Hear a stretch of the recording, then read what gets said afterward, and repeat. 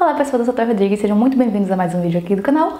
Hoje eu vou falar com vocês sobre as minhas últimas leituras, o meu wrap-up de leituras. Eu tava vendo aqui o último vídeo que eu postei, de últimas cinco leituras, né, que eu tava fazendo desde o começo do ano, foi em maio. De lá pra cá eu li mais algumas coisas das quais eu não comentei, então hoje eu vou falar sobre maio, junho e julho. Em maio eu só terminei de ler dois livros, o primeiro deles foi o Gótico Mexicano, sobre o qual eu já falei naquele vídeo que vai estar linkado, acho que aqui, e na descrição, vou ver se eu lembro de linkar. Então já falei do Gótico Mexicano lá, aqui eu vou falar sobre o segundo livro que eu li no mês de maio, que foi o Stamped from the Beginning. Algum tempo atrás eu li o livro Marcados, que conta a história da escravidão nos Estados Unidos, de uma forma um pouquinho mais leve. O autor daquele livro fala várias vezes que ele não é um livro de história, não é super pesado nos fatos e não sei o quê, mas ele conta de forma leve por cima a história da escravidão nos Estados Unidos. É um livro muito bom. E aquele livro foi anunciado como um remix do livro Stamped, Stamped from the Beginning, que eu li agora porque eu fiquei curiosa. Eu nunca tinha lido um livro que era um remix de outro e eu fiquei curiosa para ler o original. Esse livro aqui eu dei 5 de 5 estrelas, eu acho que eu já falei. E ele conta, né, a história. Esse sim é um livro mais pesado, mais cheio de fatos históricos mesmo, de presidentes, de não sei o que, de coisas que aconteceram. E ele conta a história da escravidão nos Estados Unidos, desde lá do começo, da história dos Estados Unidos, né, da colonização e tudo mais, até que na verdade a história dos Estados Unidos começou antes, porque tinham os povos nativos, mas ele começa lá na colonização e vai mais ou menos ali até a primeira vitória do Trump, se eu não me engano. É um livro que não é assim tão grande, não é um calhamaço, mas é um livro pesado de ler, tanto pelo tópico, né, o Marcados, o livro que foi traduzido para o Brasil, é um tópico difícil, mas o autor consegue deixar ele um pouquinho mais leve de se ler. Esse aqui o autor não tentou deixar leve, ele só contou a mesma história, pesadona mesmo. Então, mesmo não sendo um livro tão grande, eu passei praticamente o mês de maio inteiro lendo esse livro, porque ele é um pouco mais pesado, e principalmente ele é pesado em muitos fatos históricos dos Estados Unidos que não me interessavam tanto por isso foi meio sofrido para mim ler o livro, por mais que eu tenha amado ler, eu gostei muito de ter lido, leria de novo sim, mas muitos fatos históricos dos Estados Unidos que eu não estou interessada. Então, assim, ler o Marcados é mais fácil, é mais de boa, eu acho que super dá pro público em geral. Se você tiver um interesse em especial na história da escravidão nos Estados Unidos, com muitos fatos dos Estados Unidos, vale a pena ler o Stamped from the Beginning, que é um livro muito bom também, muito mais cheio de fatos e coisas do que o Marcados, que é tipo um resumo não é um resumo, é um remix, mas enfim. É que assim, o que eu acho que um livro como esse, eu quero ler um livro como esse que conta a história aqui no Brasil, que daí todos os fatos históricos e as coisas mais assim, eu vou estar mais interessada porque aqui no Brasil eu tenho mais interesse de saber a nossa história do que a história completa dos Estados Unidos, entendeu? Então, é isso. Gostei muito do livro, amei. Inclusive quero ter o físico, quero ler de novo e quero fazer várias marcações. Tô dizendo que é pesado porque foi pesado, foi difícil de ler pra mim, mas amei. Eu tenho aqui um DNF, que é de Not Finished, um livro que eu abandonei. Tá aqui o The Last True Poets of the Sea, só que eu não lembro mais por que eu abandonei. Inclusive isso me diz muita coisa, porque eu tava vendo esses dias o meu Goodreads e não tava dizendo lá que eu li The Last Reports of the Sea. Eu fiquei assim, como assim? Mas eu tenho certeza que eu li esse livro. Mas eu não li não, eu comecei a ler e abandonei, eu não lembro porquê. Então provavelmente eu vou começar de novo qualquer dia desses pra ver o que, que eu acho e se eu vou abandonar de novo eu vou terminar de ler. Porque eu não lembro qual foi o motivo de eu ter abandonado esse livro lá em maio. Depois de maio a gente tem junho. Em junho eu li quatro livros. O primeiro e o segundo foram The Vanishing Stairs e The Hand on the Wall, o The Vanishing Stairs, que eu acho que se chama Escada Furtiva, já tem aqui no Brasil. O The Hand on the Wall, da última vez que eu chequei lá em junho, parece que ainda não tinha sido lançado no Brasil. Não sei se hoje em dia foi, se tiver sido, a capa vai estar tá aqui. Os dois levaram 5 de 5 estrelas e são o segundo e o terceiro livros da trilogia do Cordialmente Cruel. Não sei se é esse o nome da trilogia. Foi uma trilogia que eu gostei, eu gostei bastante. Eu tinha gravado todo um vlog de leituras dessa trilogia que eu perdi quando meu computador deu defeito. Infelizmente. Mas é a história dessa moça, que eu esqueci o nome agora. Eu não peguei meu caderno de anotações, mas eu também não fiz anotação direito. Eu tava sendo péssima nesses últimos meses. Eu li pouco e eu não anotei sobre as coisas que eu li. Mas ele conta a história dessa menina, essa adolescente que gosta muito de mistérios. O sonho dela é ser uma detetive do FBI, assim, muito boa. E aí, nesse universo onde esse livro se passa, existe uma escola uma escola especial criada por um cara multimilionário, bilionário, sei lá, um cara muito, muito rico, assim, filântropo e tal. Ele criou essa escola onde crianças, tipo, superdotadas ou com interesses especiais seriam aceitas para estudar de graça, não importa se você vem de uma família pobre ou rica, qual sua origem. Essas adolescentes da escola de ensino médio seriam aceitos lá para estudar de uma forma mais divertida, de uma forma mais livre. Cada um deles poderia ter a liberdade de seguir, né, o seu caminho, a sua paixão. Por exemplo, a nossa personagem principal, se eu não me engano, se chama Steve Bell, E ela é aceita a partir de uma carta que ela escreve para a direção da escola dizendo que ela tem muita vontade de descobrir um crime que aconteceu lá, desvendar um crime que aconteceu lá na época da fundação da escola. Na primeira turma que a escola teve, o fundador, o cara bilionário, morava nos terrenos da escola com a família dele e um certo dia aconteceu que a esposa e a filha do fundador da escola foram sequestradas e uma aluna apareceu morta nos terrenos da escola. E esse mistério foi assim um caso muito louco, toda a mídia em cima e tal, e foi um mistério que nunca foi resolvido. Eles nunca pegaram a pessoa que cometeu esses crimes. A esposa e a filha nunca mais foram achadas, não se sabe se estão vivas ou mortas. E caso ficou conhecido como o caso do Cordialmente Cruel, porque o dono da escola, né, esse fundador bilionário, tinha recebido uma carta alguns dias antes do crime acontecer, que era uma ameaça assinada por uma pessoa que assinou como Cordialmente Cruel. E aí Steve Bell, anos depois, quer ir para essa escola para resolver esse crime. E a escola aceita ela porque ela tem um interesse especial e ela aceita para ir lá investigar o que aconteceu todos aqueles anos atrás. E aí a gente vai acompanhar nesses três livros, né, o desenrolar desse mistério do que aconteceu, o desenrolar da Steve Bell passando ali no seu ensino médio com seus amigos e seus romances e tudo mais. Gostei bastante, gostei muito. 5 de 5 estrelas pro segundo e pro terceiro livros.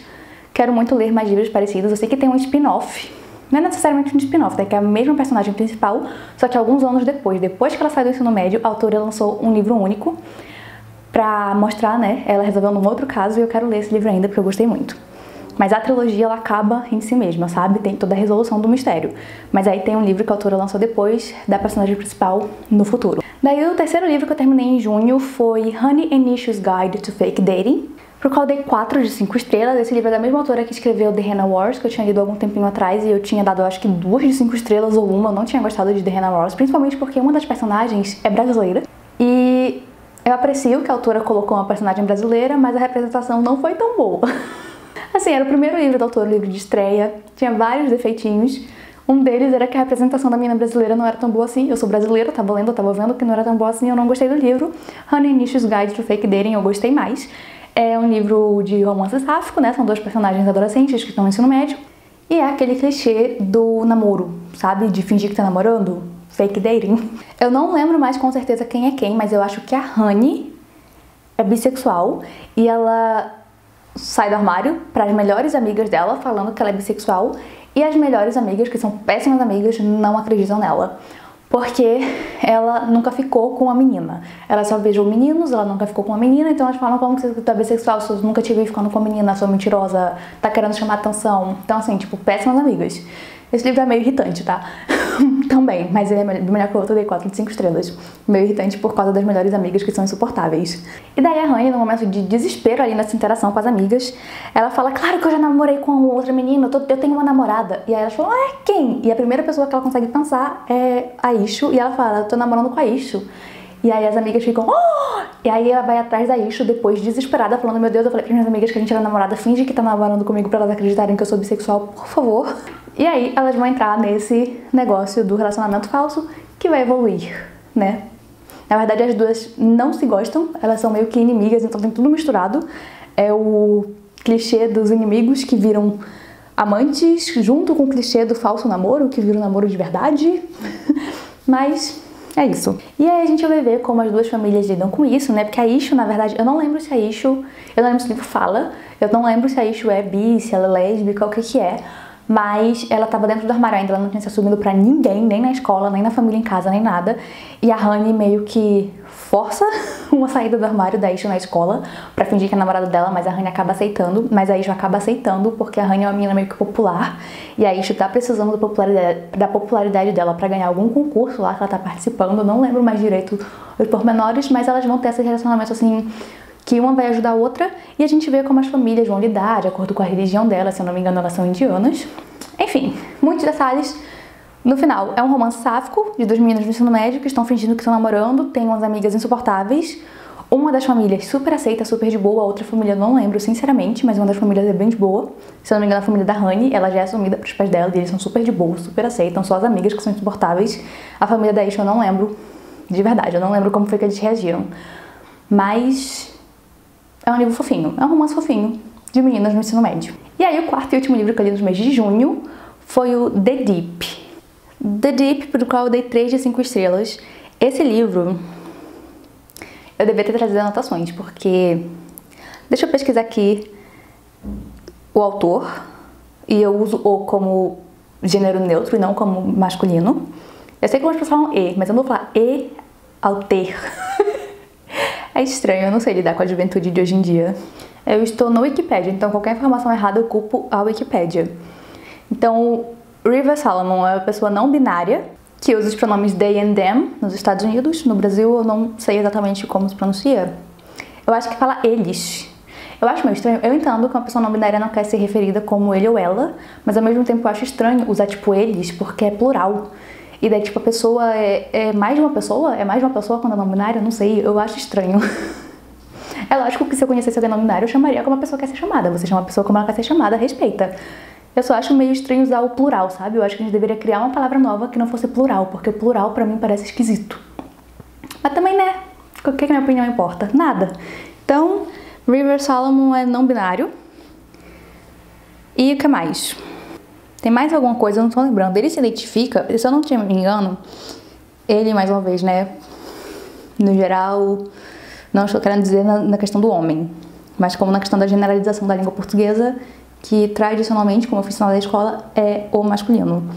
Tinha alguma coisa com a religião de River Salomon, que ele se identificava como um espírito, alguma coisa assim. Eu acho que eu já li isso em algum lugar, mas como não tá dizendo aqui no Wikipedia, eu não vou falar mais nada porque eu posso estar falando merda, mas se eu não me engano, eu li em algum lugar que tem uma espiritualidade ali envolvida. Mas é uma pessoa não binária. E no livro também parece que os personagens são, da personagem principal pelo menos, mas se eu não me engano, toda aquela raça de pessoas que estão ali são meio que não binárias. Mas assim, é um livro muito estranho, uma escrita muito estranha, muito experimental, então eu posso nem ter entendido direito o que estava querendo dizer, mas do que eu entendi.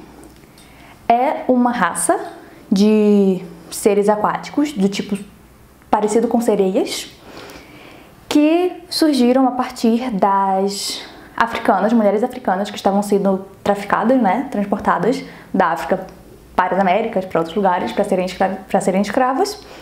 E muitas vezes essas mulheres, quando estavam grávidas, quando estavam doentes, quando estavam não todo esse povo, né, não são mulheres, eram jogados no mar.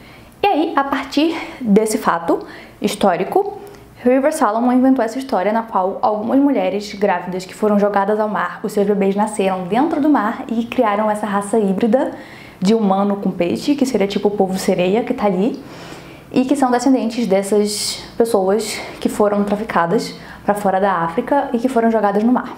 E aí é essa sociedade onde ninguém se lembra de nada, as pessoas não lembram do passado, tem uma pessoa que é designada pela sociedade para lembrar de tudo o que aconteceu, para lembrar da história deles, para carregar toda a dor, todo o sofrimento da história deles. E todo o resto dessa população, né, dessa, desse pessoal, não lembra. E eles são livres para viver suas vidas felizes sem o peso de, de lembrar sua história. E aí, uma vez por ano, se eu não me engano é todo ano, tem um ritual onde essa pessoa, que é a pessoa que lembra, vem, todo mundo se junta e essa pessoa que lembra conta a história para eles, conta a sua história do povo, conta as origens deles e todo mundo se lembra. E aí depois disso, quando eles saem desse ritual, todo mundo esquece de novo e só essa pessoa que lembra continua lembrando.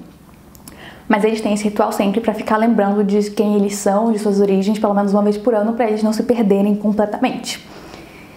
E aí essa pessoa, que é a pessoa que lembra, carrega um fardo muito grandioso de ser a única pessoa na sociedade que lembra da origem deles, de muito sofrimento e tudo mais.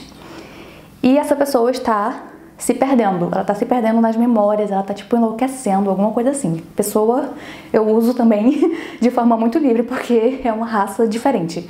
Mas tá. E aí a gente vai acompanhar essa história na qual a personagem principal é essa pessoa que lembra e o seu povo tá loucamente querendo que ela volte porque eles estão sentindo, né? Eles têm um sentimento de começar a esquecer esquecer completamente quem eles são, qual que é o propósito e tudo, é, o que que eles são, e aí quando eles começam a perder todo esse propósito, eles começam a ficar inquietos e aí eles tendem a ir, né, tipo como se fosse um instinto, a ir pro local onde acontece o ritual da lembrança, onde a pessoa que lembra conta toda a história, e essa pessoa que lembra toda a história não foi lá pro local nesse ano, porque ela não aguenta mais, ela não quer ter que ficar repetindo, revivendo essa história todo ano de novo e de novo, ela não aguenta mais passar por tanto sofrimento sozinha.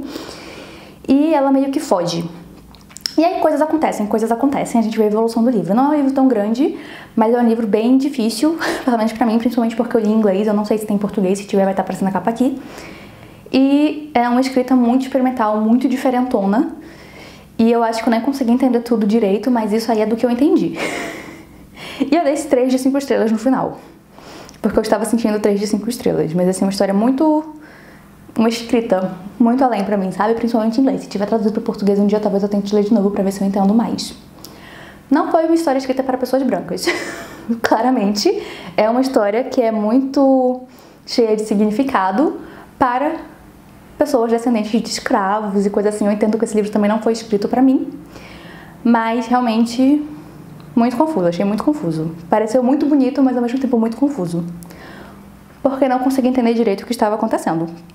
E aí fiquei com medo de ler outros livros de River Salomon, porque se for tudo com escrita tão experimental assim, eu não tenho inteligência.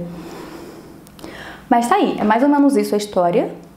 Se você quiser ler, leia. Talvez você é mais inteligente que eu. E daí, em julho, eu li sete livros. Eu acho que esse vídeo já tá bem grande. Vou tentar ser breve aqui em julho. Mas vai ser um vídeo grande porque eu tô falando de três meses, tá? Então, em julho, a gente teve a MLI. E a MLI foi responsável por eu sair da minha ressaca literária, que eu tinha entrado lá em junho. E eu li cinco livros durante a MLI, que foram, são os cinco primeiros livros que eu vou falar aqui, e depois mais dois antes de acabar o mês.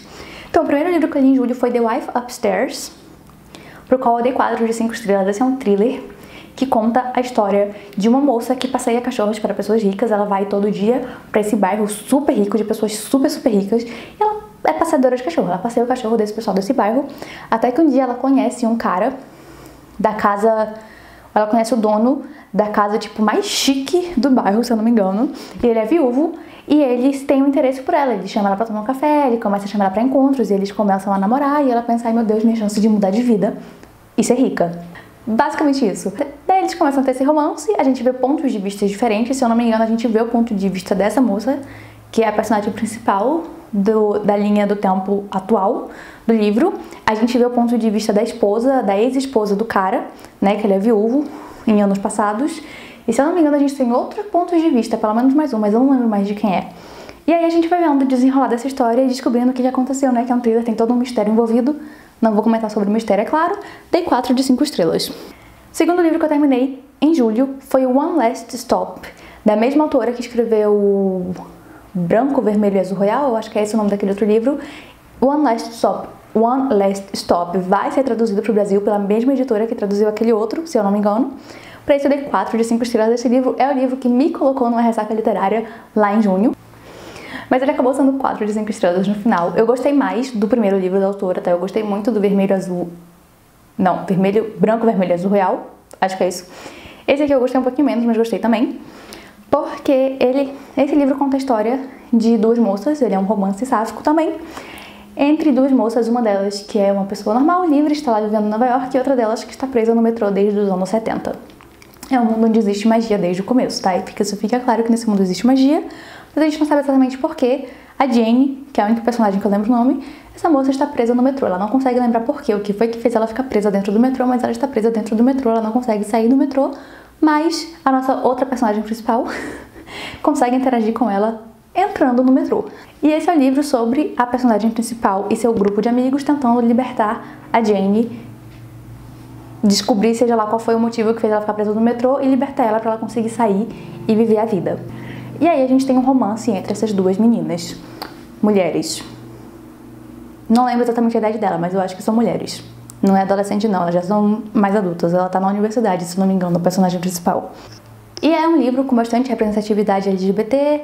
Tem a personagem principal que, se eu não me engano, é bissexual. A Jenny, se eu não me engano, é lésbica. A gente tem ali no grupo de apoio de amigos do livro, temos personagem que é drag queen, temos personagem que é trans, temos não lembro mais. Temos representatividade e temos essa história aí nesse mundo mágico que coisas acontecem e tem essa menina que tá presa no metrô. E o livro começa muito bom e termina muito bom. O meio que é a parte que eu sofri.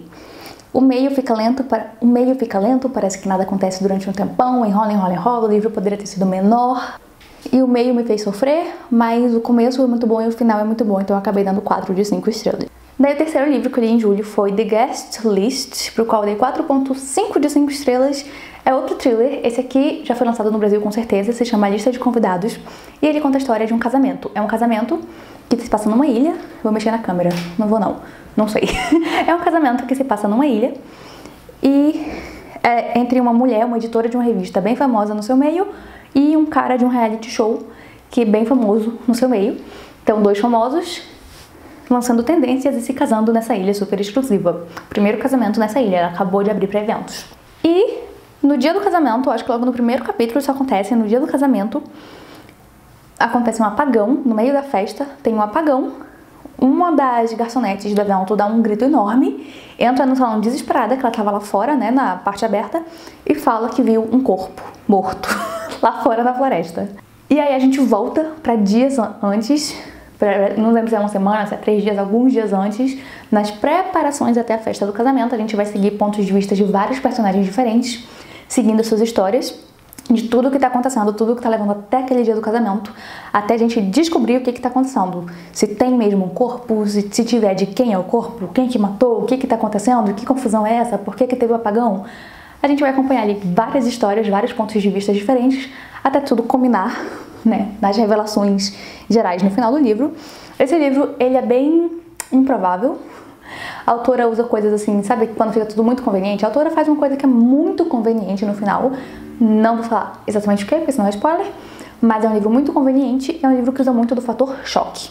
Usa muito do fator choque. Eu me diverti a beça, parecia que eu tava lendo uma novela mexicana, muito divertido. Toda vez que tinha um novo fator choque, eu ficava ah, felicíssima parecia que eu estava lendo uma novela mexicana.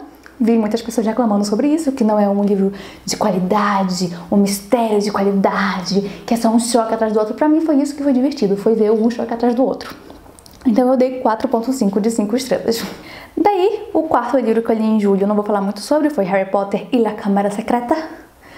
Harry Potter e a Câmara Secreta, eu ouvi o audiolivro dele em espanhol, dei 5 de 5 estrelas, uma releitura. É, eu tô tentando aprender espanhol, então eu ouvi o audiolivro em espanhol para me ajudar. Vou continuar a releitura de Harry Potter, tudo em espanhol. O próximo eu quero tentar ler o livro físico. Não físico, mas o e-book, enfim. Não preciso falar muito sobre, todo mundo sabe o que é. Não preciso dar muito palco pra J.K. Rowling, né? Então, eu sei que ela é horrível, mas eu continuo amando Harry Potter. Infelizmente, eu conheci Harry Potter antes de saber que ela era horrível e eu amo a série. Não consigo abandonar. Mas estou relendo em espanhol. E aí, o próximo livro que eu li foi Act Your Age, Eve Brown, o terceiro e último livro da série das Irmãs Brown, da trilogia. Cada um desses livros acompanha uma das irmãs, são romances, super hot, super sensuais. E nesse a gente vai acompanhar a Eve Brown, que é a irmã mais nova, quando ela acabou de ser cortada pelos pais. É uma família muito rica, então elas são todas herdeiras, ricas não sei o quê, mas as duas irmãs mais velhas trabalham, têm carreiras e tudo mais. A Eve é a mais assim, sabe? Que largou a faculdade, que não tem uma carreira, que vive do dinheiro dos pais, na casa dos pais. E aí chega um dia que os pais dela cansam, porque eles falam, mesmo ela sendo herdeira, eles não querem que ela seja só uma herdeira, eles querem que ela trabalhe, que ela arranje algum propósito na vida. Então, no começo desse livro é o dia que eles vão lá e falam que vão cortar ela. Ela tem um prazo, eu acho que de uma semana para arrumar um emprego, sair de casa e conseguir viver pelo menos um mês de estabilidade no emprego antes deles restabelecerem o acesso dela ao dinheiro. E aí ela sai de casa pistoladíssima, desesperada, sai dirigindo assim sem rumo, até que ela chega na frente de uma pousada que tem uma placa lá dizendo que eles precisam de um cozinheiro, né? Um cozinheiro que vai fazer o café da manhã e o chá da tarde. E por coincidência, Eve Brown gosta muito de confeitaria, ela gosta de fazer pães, ela gosta de fazer bolos. E ela pensa, tá aí, achei meu emprego. E ela entra lá e vai pedir esse emprego. Só que ela chegou completamente despreparada, sem nenhum currículo, sem nada. E o dono da pousada é um cara super metódico, que gosta de tudo organizadinho, que é uma pessoa super preparada para pegar a cozinha dele. E ele odeia a Ivy, porque a Ivy não é nada disso. Só que alguns fatos acontecem, não vou dar muitos detalhes, e eles estão desesperados porque a cozinheira anterior foi embora e eles estão sem cozinheira na pousada, então eles acabam, ele acaba contratando a Ivy assim meio que temporariamente para ela fazer um teste enquanto ele acha alguém melhor. Mais ou menos isso, não é exatamente isso que acontece, mas vamos dizer, né? Leia o livro. E aí a gente vai ter essa história na qual no começo os personagens se odeiam e depois eles viram amantes. Um livro muito fofinho, assim como os outros da série, muito fofo, muito bom. Pra esse eu dei 4 de 5 estrelas, os outros dois foram 5 de 5 estrelas. Essa foi a minha história menos favorita de todos, principalmente por causa da grande briga, né? Aquela grande história que tem em todos os romances. O casal fica junto, aí eles têm uma grande briga, aí eles reconciliam e o livro acaba. A grande briga eu achei muito cansativa, não gostei do motivo, foi só falta de comunicação. Eu já tô cansada dessa história da grande briga, eu queria que os casais só ficassem juntos sem precisar desse drama. Mas quando pelo menos tem um motivo bom, eu aceito, mas esse foi só falta de comunicação, então me irritou. 4 de 5 estrelas, continuo gostando muito, continuo gostando da autora, quero ler outros livros dela. Esse foi o último que eu li pra MLI. E aí, eu li mais dois livros antes de acabar o mês, que foi o The Vanishing Half. Esse livro tem em português, mas eu não lembro o nome, vai estar tá aqui. É da mesma autora que escreveu esse aqui, As Mães, e se eu não me engano, o outro livro dela também foi lançado pela Intrínseca. The Vanishing Half, eu dei 4 de 5 estrelas. Ele conta a história de duas irmãs gêmeas que são white passing. Nos Estados Unidos eles têm esse termo white passing, que é quando você parece branco. Aqui no Brasil, se você parece branco, você é branco. Ninguém se importa que uma das minhas bisavós era negra, que eu tenho parentes que são negros, que não sei o que. Eu sou branca. No Brasil, eu sou branca. Nos Estados Unidos é meio diferente. Eles têm uma regra que se você tem sangue de negros, você ainda é negro, você não é branco. Então, mesmo que elas se pareçam brancas, elas consigam se passar por brancas, mas elas são consideradas negras por causa da descendência delas. E aí é a história dessas duas irmãs gêmeas que acabam se separando no mundo e uma delas resolve se passar por branca, realmente ela começa a viver uma vida de uma mulher branca e se passar por branca, e a outra vive a vida de uma mulher negra. E elas duas se separam e a gente vai acompanhar a história dessas duas irmãs, desde a sua adolescência ali até ficarem adultas, velhinhas e tudo mais, vendo a bifurcação dessas duas vidas, tudo que aconteceu de diferente para uma para outra só porque uma resolveu ser branca e a outra resolveu ser negra. E é uma história assim sem muito plot, sem grandes coisas acontecendo, é realmente sobre acompanhar a vida dessa família, desses personagens e das famílias delas e tudo que vai acontecendo assim, um livro meio lento de acompanhar o que está acontecendo com essas mulheres. E gostei, gostei. E aí o último livro que eu li antes de terminar o mês foi A Court of Thorns and Roses, que se chama Corte de Espinhos e Rosas, é isso. A Corte de Espinhos e Rosas, é isso mesmo. Da Sarah J. Maas. O primeiro livro da Sarah J. Maas que eu li em toda a minha vida. Dei 4 de 5 estrelas, gostei bastante. Eu tô gravando um vlog e esse, se tudo der certo, eu não vou perder. Eu tô gravando um vlog com spoilers de todas as minhas reações enquanto eu leio a trilogia, né? Eu vou ler a trilogia inicial, mais o livro 3.5, né? Então eu vou ler os três livros da trilogia, mais o 3.5 nesse vídeo. Os livros sobre a Feyre e essa história é sobre uma moça, a Faber, que vive no mundo onde existem fadas, só que assim, as fadas ficam no mundo das fadas e os humanos ficam no mundo dos humanos, tem essa separação. E a Feyre, no começo do livro, acaba matando uma fada sem querer, ela sai para caçar, para trazer comida para a família, e ela acaba matando uma fada sem querer. É uma fada que estava em formato de lobo no mundo dos humanos e ela mata essa fada. E aí, por causa de um tratado que existe entre humanos e fadas para prevenir que humanos matem fadas e fadas matem humanos, diz que já que ela matou uma fada, então os humanos têm o direito de matar ela. Só que além de matar, eles têm, eles têm o direito de ter a vida dela, né? Já que ela tirou a vida de uma fada. Então eles não precisam necessariamente matar ela. Eles podem levar ela para viver no mundo das fadas. Porque isso significa também que eles pegaram a vida dela, tiraram ela da família, do mundo humano, levaram ela para o mundo das fadas e é isso que acaba acontecendo, ela é levada para o mundo das fadas. E obrigada a viver lá pro resto de sua vida, porque ela matou uma fada. Então essa é mais ou menos a premissa do livro, é uma releitura esse livro é uma releitura de A Bela e a Fera. E é isso, eu gostei bastante. Eu dei 4 de 5 estrelas, eu tô amando essa série. Eu estou achando a Feyre irritante, tá? Eu tô no momento, no começo do segundo livro. Eu não sei se ela melhora daqui pro final da trilogia. Por mais que eu esteja amando a trilogia, eu tô achando a Feyre muito irritante. Mas eu vou dizer todos os detalhes do porquê lá no vídeo com spoilers. E esse foi o último livro que eu li em julho, então o último livro pelo qual, do qual eu tenho que falar nesse vídeo. Ainda bem que minha garganta está seca, está doendo e eu estou com fome e eu quero sair daqui e parar de falar. Então é isso, para esse vídeo é isso. Esses foram os últimos livros que eu li. Para os próximos meses, eu vou tentar postar todo mês o wrap-up do mês, né? Vou voltar a fazer wrap-up de mês. Aí eu vou ter menos livros para falar por mês e vai ficar menor o vídeo.